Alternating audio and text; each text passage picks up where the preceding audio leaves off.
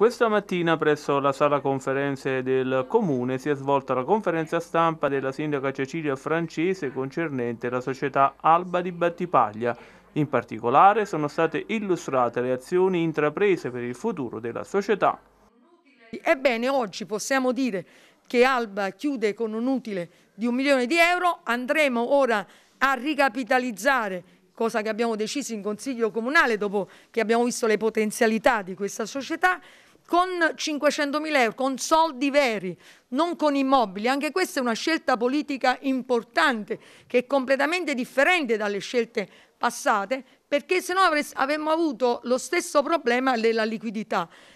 Ora che noi abbiamo eh, praticamente riorganizzato e messo alla luce e soprattutto messo in risalto le grandi potenzialità di questa società, ora si può, si può modernizzare la società,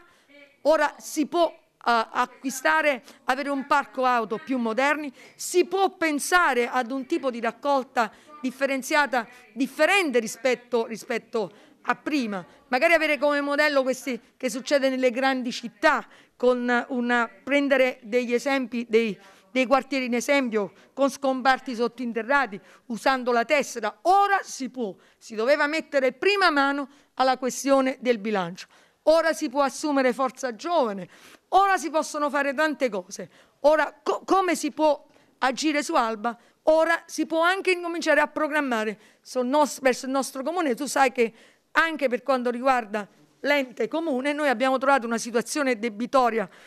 che era veramente terribile, 23 milioni di euro di savanzo e 15 milioni di euro fuori bilancio. Questa amministrazione francese per operare ha dovuto mettere prima mano al bilanci, ha dovuto far venire fuori quello che erano i debiti e della società partecipata e del comune di Battipaglia, adesso si può, si può programmare, si può rilanciare e si può venire nell'interesse della nostra comunità.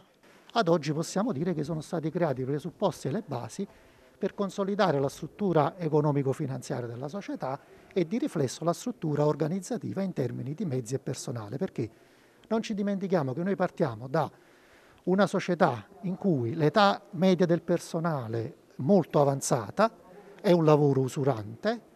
un parco macchine ormai molto datato. Mm, figuratevi che l'ultimo acquisto in Alba è stato fatto 7-8 anni fa, quindi il mezzo più giovane ha 7-8 anni, quindi mezzi soggetti a continue manutenzioni, a continue rotture, personale quindi eh, di età molto avanzata, molto molti dei quali anche affetti da patologie invalidanti, per cui voglio dire, con questi fattori della produzione il risultato finale non può che essere mediocre. Ci aspettiamo che appunto riorganizzando questi fattori,